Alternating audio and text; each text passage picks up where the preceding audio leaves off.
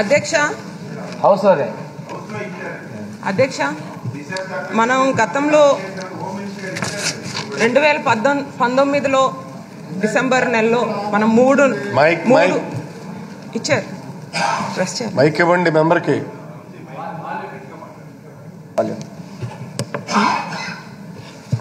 అధ్యక్ష మనకిప్పుడు మూడు సంవత్సరాల మూడు నెలల మూడు రోజుల క్రితం డిసెంబర్ నెలలో రెండు వేల పంతొమ్మిదిలో మనకి ఇక్కడ దిశ బిల్లు ఇక్కడ ప్రవేశపెట్టడం జరిగింది. ఆ రోజు కూడా నేను మాట్లాడాను. ఎంతో మహిళగా ఎంతో చాలా సంబరపడ్డాను. మంచి బిల్లు వస్తుంది. ఎందుకంటే మనకు గ- ఎన్నో ఏళ్ళగా ఎక్- ఎక్కడో ఒక చట్టం ఇలాంటిది మంచిది వస్తే ఈ మహిళలందరికీ కూడా ఒక భద్రత ఉంటుంది అని గట్టిగా నమ్మిన దానిలో ఉన్నానండి. కానీ మీరు గమనిస్తే నేను మాట్లాడిన మరుసటి రోజే నా పైన కూడా సోషల్ మీడియా పరంగా దాడి చేశారు. మీ దృష్టిలో కూడా పెట్టాను. ఇప్పుడు మూడు సంవత్సరాలైనా దానిపైన కూడా నాకు ఎటువంటి సమాచారం లేదు. మా ఊర్లో రాజమండ్రిలో దిశ పోలీస్ స్టేషన్ ఉంటే అక్కడికి కూడా వెళ్ళి కంప్లైంట్ ఇవ్వడం జరిగింది.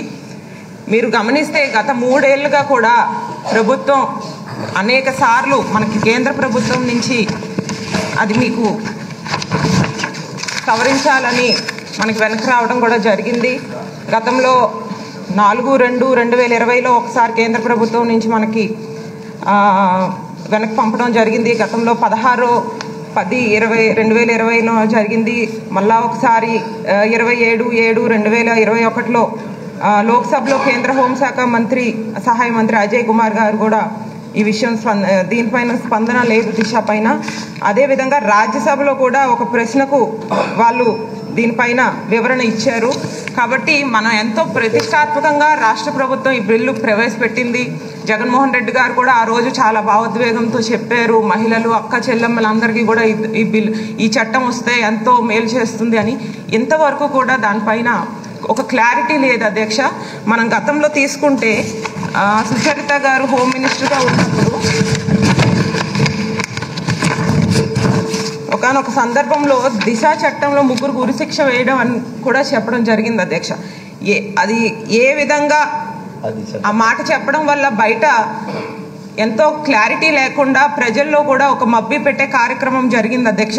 కాబట్టి దీనిపైన కూడా స్పందించాలి ప్రభుత్వం. ఎందుకంటే ఏ చట్టం రాకుండా ఒక ఉరిశిక్ష పడింది అని ఎట్లా చెప్పగలుగుతున్నారు అధ్యక్ష?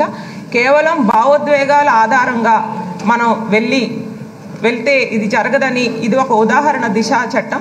భావోద్వేగం ఆధారంగా వెళ్ళకుండా మేధమదనం చేసి అసలు దీని మొత్తం ఏంటి మొత్తం తీసుకుని మళ్ళా కేంద్ర ప్రభుత్వం ద్వారా త్వరగా ఈ బిల్లు ఈ చట్టం ఆమోదం అయ్యేటట్టు చేయాలని కోరుకుంటున్నాను. అధ్యక్ష ఇవాళ కేసులు కూడా ఉత్పన్నం కాదంటున్నారు ఆ, సి ఇంతవరకు మీరు ఎంతమందికి శిక్ష విధించారు? ఎంతమంది పైన కేసులు నమోదైనాయి? ఎందుకంటే మనం ప్రతిరోజు ప్రతి ప్రాంతంలో ఈ ప్రాంతం ఆ ప్రాంతం అని లేదు అధ్యక్ష. రాష్ట్ర వ్యాప్తంగా శ్రీకాకుళం నుంచి అనంతపురం వరకు రాయలసీమ వరకు అన్నీ కూడా ప్రతిరోజు ఎక్కడో ఒక చోట మహిళలపైన దాడులు అత్యాచారాలు విపరీతంగా పెరిగిపోయినాయి అధ్యక్ష.